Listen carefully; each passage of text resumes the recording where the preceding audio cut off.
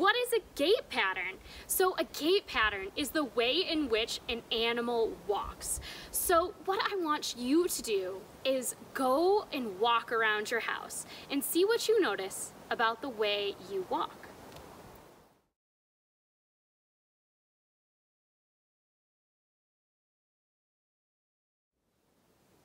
What did you notice about the way you were walking?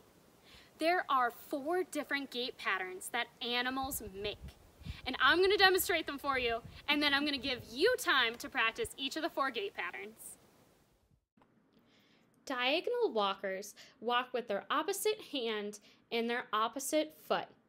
Examples include humans, deer species, and canines such as the coyote. Here is an example of what some of the tracks look like when you see a diagonal walker.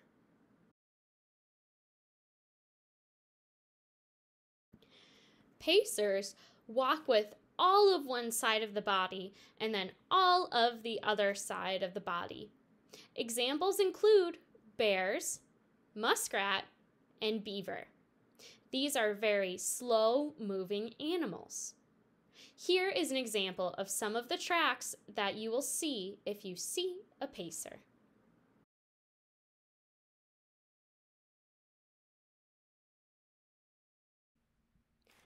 Bounders hop with their two front feet together first and then their two back feet.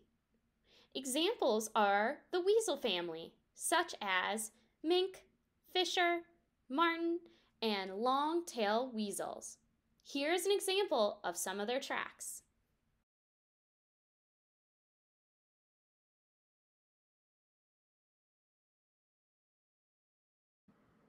Gallopers hop with their two front feet first, and then their two back feet land in front of their front feet.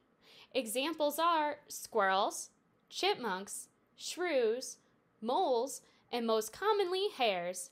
Here is an example of what some of their tracks look like.